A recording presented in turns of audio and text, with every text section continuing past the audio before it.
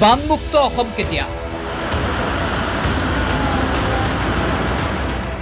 আজিলৈকে বান সমস্যা সমাধান কৰিব নোৱাৰিলে কোনো এখন চৰকাৰে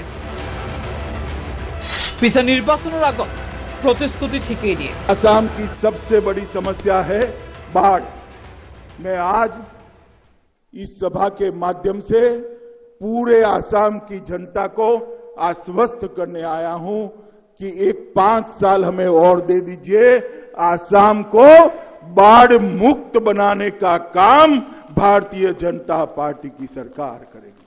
हमने सैटेलाइट इमेज से न केवल आसाम, पूरे नॉर्थ ईस्ट के इलाकों का एक सर्वे किया है और बाढ़ को बड़े बड़े सरोवरों में बड़े बड़े तालाबों में कैसे बदला जा सकता है, उसका नक्शा बनाया है।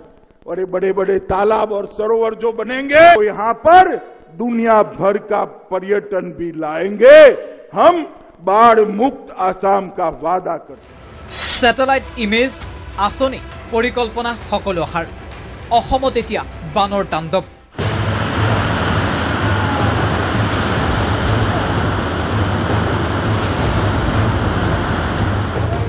ডিমা হাছাওত এতিয়াও অপৰিৱৰ্তিত বান পৰিস্থিতি লখিমপুৰ শিৱসাগৰতো বানৰ তাণ্ডৱ। আজি ছয়দিনমান হ'ল। অঁ পানী। পানী হৈছে একদম ঘৰৰ ওপৰত ঘৰে দৰে গৈ আছে। এইফালে আলি ভাঙিলে পানী হৈয়ে আছে। হোজাইত এতিয়াও অব্যাহত আছে বানৰ সংসাৰ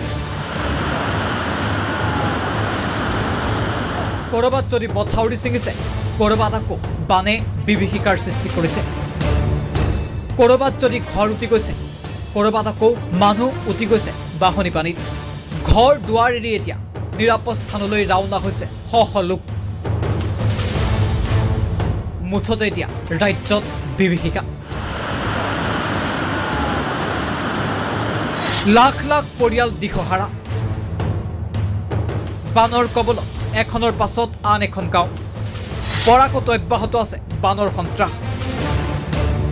কি ৰেলৱে ষ্টেচন কি চহৰ কি গাঁও সকলোতে এতিয়া বিভীষিকাৰ সৃষ্টি কৰিছে বানে যাৰ বাবে ৰাজ্যবাসীৰ মনত এটাই প্ৰশ্ন বানৰ পৰা মুক্ত পাব কেতিয়া অসমবাসীয়ে? News desk report time eight.